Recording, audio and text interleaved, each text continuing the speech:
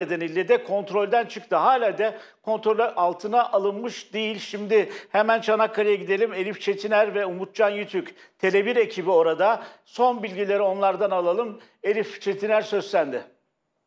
Evet Zeynel Lülü, öğlen saatlerinde başlayan orman yangını an itibariyle devam ediyor. Saatler sürmesine rağmen yapılan tüm müdahalelere rağmen neredeyse 24 saati geçti ama yangın henüz söndürülemedi. Çünkü yoğun bir rüzgar söz konusu tam kontrol altına alınmaya çalışılırken ufacık yanan veya soğutulmayan yerlerden yeniden alev alarak şehrin içine doğru yangın ne yazık ki devam ediyor. Kameraman arkadaşım Umutcan Yiğitük size hemen arkamdaki görüntüyü göstersin.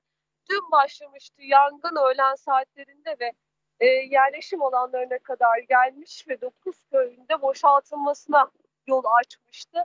Sabah saatlerine doğru biraz olsun kontrol altına alınmış ve soğutma çalışmalarına başlatılmıştı.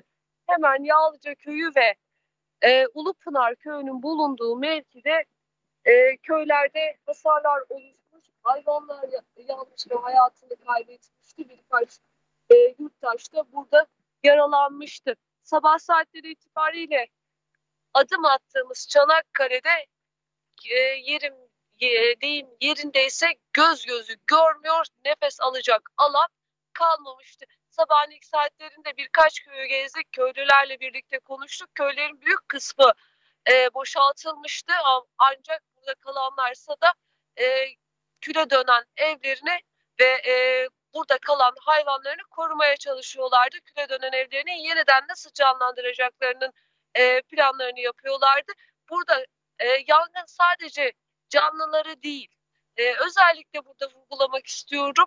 Yağlıca Köyü ve e, Ulupınar Köyü arasında yer alan bir mezarlık vardı. E, kameraman arkadaşım size hemen o görüntüleri de göstersin. Sadece canlıları tehdit etmedi bu orman yangını. Burada onlarca yurttaşın mezarları var. Çok eski mezarlar var. O mezarlarda ne yazık ki bu orman yangınından etkilendi ve birçok mezarda ne yazık ki yandı diyebilirim. Sabahın ilk saatlerine kadar çalışan itfaiye ekipleri, itfaiye erleri çalışmalarını aralıksız sürdürdü. Hala da sürdürüyor. Yurdun dört bir yanından da yangınlara müdahale için onlarca ekip getirildi. Onlar da burada Çanakkale Belediyesi, Çanakkale Orman Müdürlüğü'ne destek için yerlerini aldılar ve sabah ilk saatleri itibariyle aralıksız çalışmaya devam ettiler. Şu saat itibariyle de bu çalışma devam ediyor hala çünkü orman yangını tam kontrol altına alındığı düşünüldüğü anda rüzgarın aniden yükselmesi ve sertleşmesiyle yeniden alevler alıyor ve yeniden o gökyüzü dumana bulanıyor ne yazık ki binlerce ağaç yandı. Belki on binlerce canlı da burada hayatını kaybetti. İnsan olarak kimse hayatını kaybetmedi ama ekosistemin içerisinde yer alan bir sürü kuş, böcek türü de burada ne yazık ki hayatını kaybetti. O kürün içerisinde yok oldu. Ağaçların büyük bir kısmı hala yanmaya devam ediyor. Köklerinden hala dumanlar ve alevler çıkıyor. Gönderdiğimiz görüntülerde de bunları ekranlara taşımaya çalıştık.